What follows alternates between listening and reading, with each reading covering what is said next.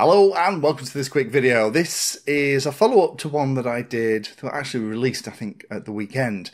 Now this video was about how I had moved the electronics from a broken model into a new set of foam and I missed something. And that missing something caused the maiden flight to go very badly. I'd actually managed to make it so that the prop was turning the wrong way. It wasn't the prop wasn't reversed, so it wasn't trying to fly back in my face as somebody thought it was, but it actually meant that the prop was producing a fraction of the thrust it normally needed, so it didn't get into the air. Now, there were some great suggestions on that video for why don't you produce a checklist for when you are either building or repairing a model that you can use to make sure that you have done everything. And thinking about it, that's a really good idea because the issue that I had with that particular build was because unfortunately I got dragged into the issue with the DJI uh, HD FPV system losing the ability to display the on-screen display. Oh, and thank you very much uh, to somebody who sent me the link of where it shows you the diode that's probably broken in that Air unit that stops the UART uh, working so that the on-screen display actually stops. You can remove that diode and everything goes back to working. For those of you who are interested, I'll put a link down below, but thank you to the person who sent me that. But I got completely distracted and went completely down that rabbit hole and forgot to do the basics. Now, if you are like me, then you use a lot of things like post-it notes. I have a number of these on my desk. Uh, post-it notes are where I scribble things that I need to remember on, and they tend to be stuck either onto the laptop on the build desk or kind of stuck in the um, battery base, typically where they'll live. And I'll write things on here of, you know, like calibrate compass or whatever it is I need to be need to do before I can fly it. However, there have been two instances over the past 12 months where I've got into trouble. One was the one that we just talked about, where I got completely absorbed by a DJI Air unit on screen display issue. Looks like the Air unit itself, uh, like I say, actually had a problem with a voltage spike.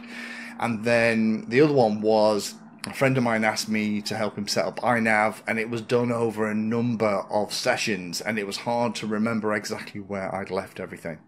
So, I created this thing here. This is the version 1.0 of my model building repair checklist. Now, this is really aimed at fixed wings rather than multi rotors, uh, but I decided that this was a handy thing not only for the people who are asking, but potentially for myself as well. Now, you can see here it's kind of set up to be in four different things. So there's the post building repair checklist of the basic airframe, just making sure that physically everything is okay.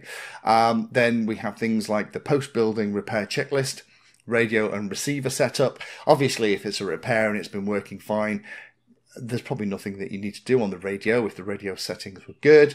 Then the top right hand corner, we have the post building repair checklist for the flight controller and FPV. Uh, this is a very, very summary section here of extra things. And then finally, because I had a bit of space, there's this thing on the bottom right hand corner, pre-launch checklist for the field. And that's just to remind you to do all of your standard checks, you know, do things like your high five, that you can arm it, that the correction is in the right direction and do all that stuff to give you the best possible chance of you throwing it in the air and it not nose diving into the ground. Big thing at the bottom is a reminder to only fly when you and the model are ready. I'm sure many of us have had the experience where you go to the field, you don't feel quite ready or something doesn't quite work right on the model, but you kind of think, oh, it'll be fine. Famous last words, and you start flying it and something horrible happens. So hopefully this is going to be interesting. Now I need to say a massive thank you to a number of Patreons who helped me with this. I have had several versions of this over the past week since it was suggested, and I need to say thank you to Simeon, Steve, Charles, Richard, Timothy, Ken, and Neil, who came back with suggestions and some really good suggestions.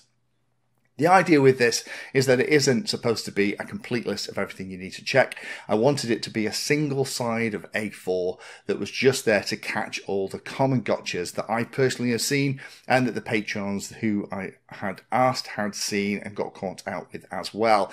There's enough room on here for you to scribble on other things that you need to check and reminders.